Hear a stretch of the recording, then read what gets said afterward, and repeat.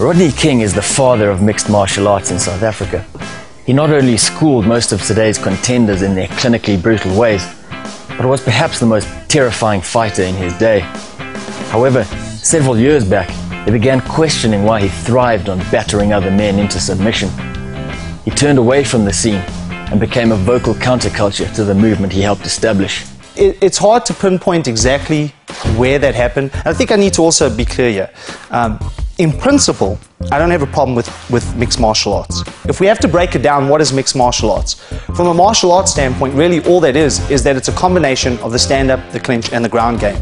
And what it is, it's, it's a, it's a one-on-one kind of altercation or fight, and some people call it a sport against another person. So it's one-on-one, basically, using all three games. That's nothing new. That's been around since the, the Greek times. Rodney's main problem with the fight game is the type of people it attracts and to some extent creates. Where my issue lies with it is that I really think that there's a crisis in masculinity, and I think this is part of the, the, the, the draw towards mixed martial arts. And what you find is you tend to find that they, in the demographics are 16 to 26 are the main people that get involved in mixed martial arts. Um, and I think a lot of the old structures that were in place that kind of helped young men define their masculinity are no longer available in the 21st century. That's kind of disappeared for a lot of guys.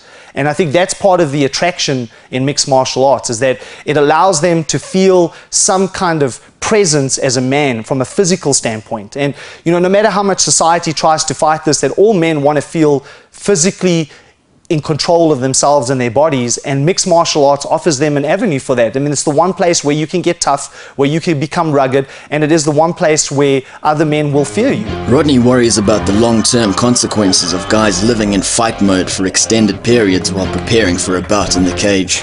You know, just going into that mindset every single night of being aggressive and getting to that point where you have to get really aggressive inside in order to do the business, how does that affect society and, and, relationships and the culture that we live in. Nobody's talking about that. It's almost like it's taboo, like you shouldn't be talking about that stuff. And one of the things that I've always felt about any subject is that we got to look at both sides here. Of course, there's the positive side. I really believe that there's a positive side to MMA if it's directed and processed properly. But we also need to look at the negative side because if unless we're looking at the negative side, how can we put, you know, um, measures in place that will allow guys to work through this constructively and creatively and not just self-destruct. And we hear examples of, of MMA guys self-destructing all the time now, and it happens, and, and it's a fact. And it, I mean, nobody wants to talk about the drug scene in, in mixed martial arts in South Africa.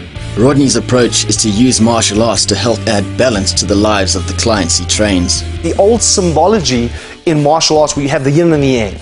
The yang is the warrior archetype, but the yin is the softer side. So you try to bring a middle path there. If you only have the yang, you're going to have all this dark side, but you're not going to have anything to balance it out. And one of the things that the, that the warrior culture understood, like the samurai, they understood that. That's why they enforced the samurai to go through those kind of disciplines, artistic disciplines, because it would balance them. Rodney's worldwide martial arts program, Crazy Monkey Defense, aims to invoke all the varied values that characterized the martial arts of old fundamental focus. If you talk to any of the Crazy Monkey Defense coaches around the world, they're going to tell you that the main thing that we do here is that we use martial arts as a vehicle to help our clients become champions in life. So it's a life performance vehicle using martial arts. Peer through the stadium lighting and smoky entrances, and mixed martial arts is a pursuit with one aim assault the man in front of you. Some talk very lightly of this aspect, but we can't ignore that the sport is about elbows to the skull, chokeholds, and the capacity to bear pain.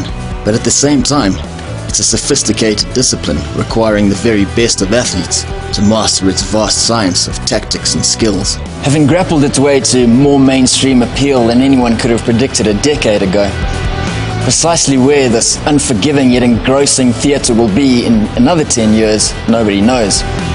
Certainly in the US, pay per view ratings have already begun overtaking all American pastimes like football and boxing.